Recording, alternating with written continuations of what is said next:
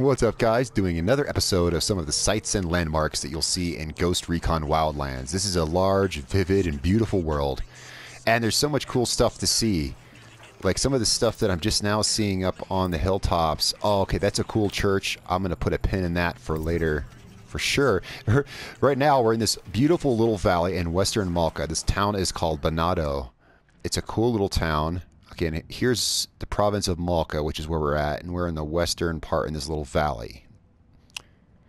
And I found this really cool little church. And what attracted me to it was this stained glass window.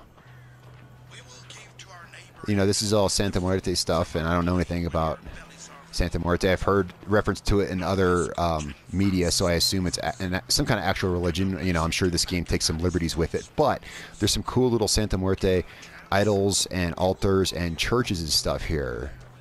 I do want to check that out, and there's a cool document in there I want to check out. But this this town really drew me in with some of these these cool sculptures and things that I saw.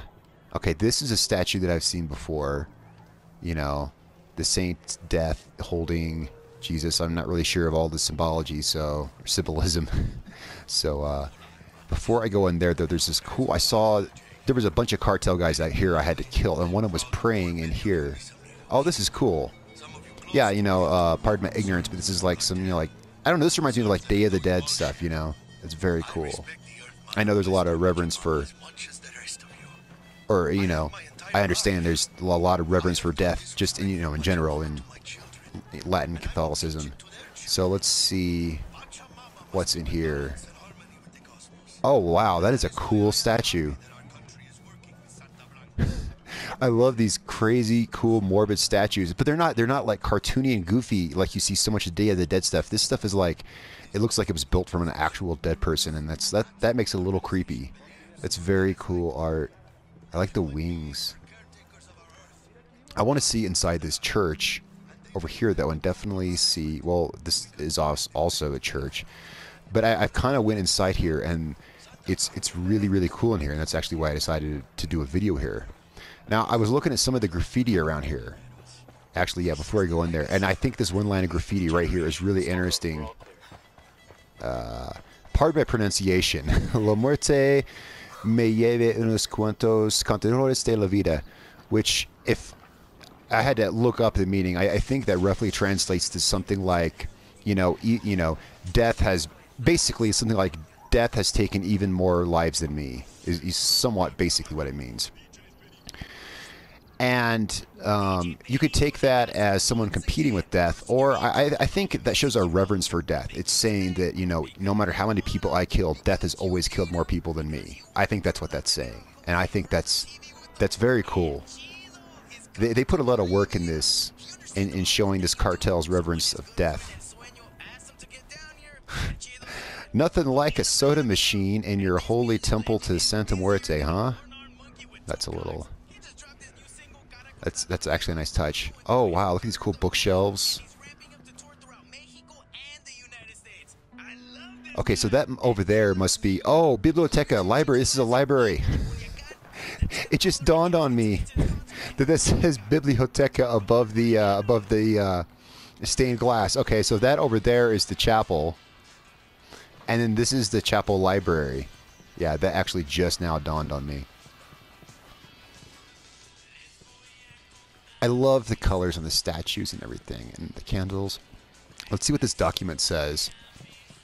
And also, well, I'm, I'm going to do that in a second. There's one more thing. There's one thing I here I want to do. All right, so let's see what this document says. Oh wow, you can see through it like it's stained glass. I mean, that's not exactly a hard effect to create, but that's really cool. They thought to put that there. Let's see this document. Should be something cool. Let's see, picture evidence. Is it anything? Oh, I thought it was something cool, some kind of lore stuff that we could read. No, it's just uh, a Bavechos newspaper article about the Day of the Dead in Malca. This year, the tradition parade was heavily sponsored by Santa Blanca, starting and ending in front of the newly built Santa Muerte Cathedral. Okay, I was hoping it'd be some kind of cool lore you could read. A slot machine? Is that what the. Yeah. oh, these guys. So I wonder. It's it's you know it's not blasphemous if if, if it's a god of death, right? Why can't I aim? Oh. Oh, I was hoping I could break it. All right, had to try. Nope, can't break it. So guys, that is his cool little. I'm sure there's way more cool stuff. here. There's cool stuff everywhere you go in this game, but I wanted to show this really cool library. There's more to this building. Wow, this building's really got an ass on it. Damn, I don't remember. Oh, I guess that's where I went in. It looks much smaller from the inside. Okay. Let's see, and so we got this cool little building out here. So this is really, really cool stuff. I love exploring all the cool locations I come across. Guys, I hope you enjoyed this video. If you did, be sure to smash that like button and leave a comment with what you think. And if you like content like this, please subscribe so we can keep doing more cool stuff like this. And I will see you guys in the next one. Guys, it's been a real pleasure. My name is Dark Dally. I'll catch you all later.